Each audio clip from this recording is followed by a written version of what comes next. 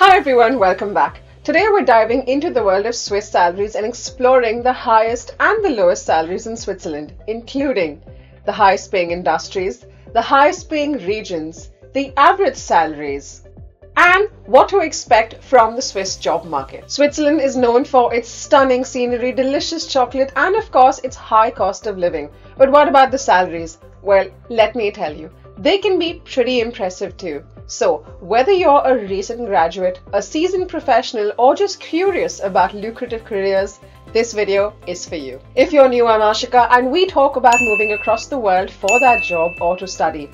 And with that, let's dive in. Now, you might be aware that Switzerland offers high salaries, but apart from that, let me break down why Switzerland is a brilliant place for you to work. For starters, for positions requiring a high level of responsibility, foreign workers like you generally earn higher salaries than those paid to employees of Swiss nationality, so you can make more money. Secondly, Swiss companies often offer a 13 month pay structure. The 13 month pay is equivalent to an employee's one month salary.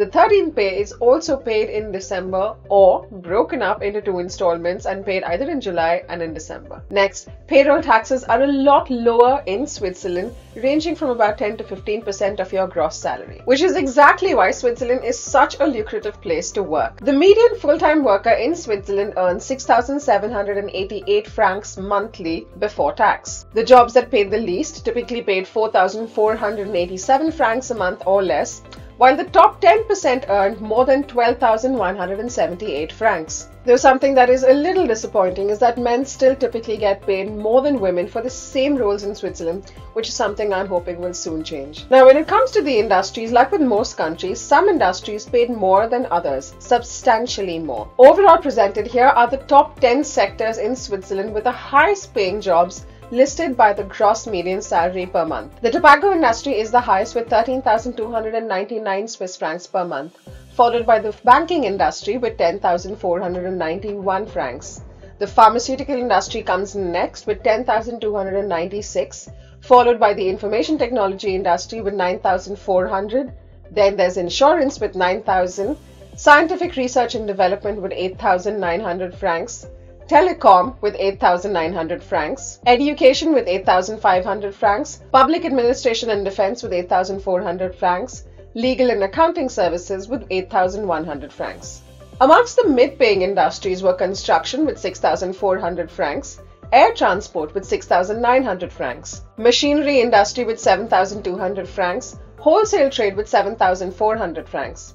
And when it came to the lowest paying industries, it was retail with 5,000 francs, catering with 4,600 francs, accommodation with 4,500 francs, personal services with 4,300 francs. Now, another thing for you to bear in mind is that it's important for you to know where in Switzerland to look for jobs because there are some regions of Switzerland that pay more than others. For senior management jobs, the median gross salary was higher in Zurich, Lake Geneva region, and the Northwest region. Ticino, on the other hand, offered the lowest levels of remuneration, whether it was for senior managers or for non managerial employees. Now, coming to the highest paid roles in Switzerland, these are some of the roles that will pay you the most amount of money starting off with surgeons or doctors who earn anywhere from 264,000 to 776,000 francs, followed by judges who get anywhere from 175,000 francs to 604,000 francs. Then there's lawyers, followed by bank managers. And then you have CEOs who get anywhere from 132,000 to 420,000.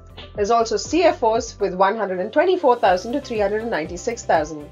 Next up, there's orthodontists. Then you have college professors, pilots, and marketing directors with 94,000 all the way to 300,000. But if you want to get an idea of the roles that pay the least, so you can plan accordingly if Switzerland is the right place for you or not, nursery school teacher assistants earn some of the lowest salaries with 2,800, followed by social counselors, tailors, medical record clerks, housekeepers, preschool or kindergarten nurses, postal workers, cleaners, and packers. Now, landing a job in Switzerland as an expat can be challenging, but with preparation and the right approach, it is definitely achievable. Here are some of the tips to increase your chances. Before you apply, research the job market. Understand which industries are thriving in Switzerland and align your skills with those in demand. Next, Switzerland has four national languages German, French, Italian, and Romansh. While English might be used in some international companies, Fluency in local languages, especially of your target region, is a huge plus to land a job. Tailor your CV and your cover letter to each specific job application and specifically to match Switzerland's practices. Something for you to bear in mind is that Switzerland has stricter regulations for non EU citizens, so you will most likely need your future employer to sponsor your work visa. I've covered the entire process in this separate video. Now, during your job search, you will want to target international companies. Many multinational corporations have offices in Switzerland. Some of the biggest recruiters in Switzerland are Glencore, Adecco, Credit Suisse, Roche Group, Nestle, Zurich Insurance, and Novartis.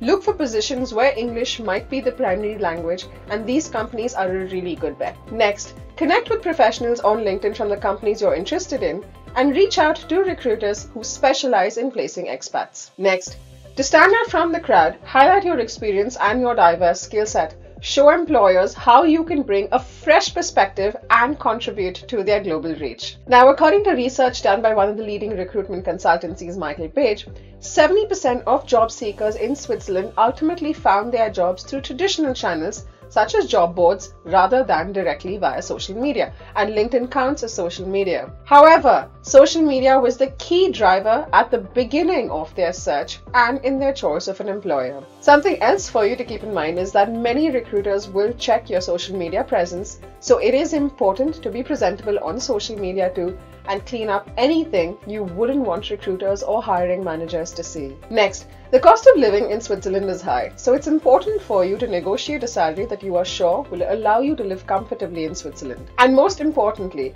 while I have given you an idea of what the average pays are like, research how much you can expect to get paid in Switzerland to give you an idea of how much you can earn versus your expenditure there so you can understand if this is the best move for you or not. Do your research, explore your options, and most importantly, pursue a career that you're passionate about and not just one that you're taking so you can move to Switzerland. Now, if you've enjoyed this video, be sure to leave it a like and subscribe for more content on your careers. Let me know in the comment section below which country you'd like to see featured next, and thanks for watching.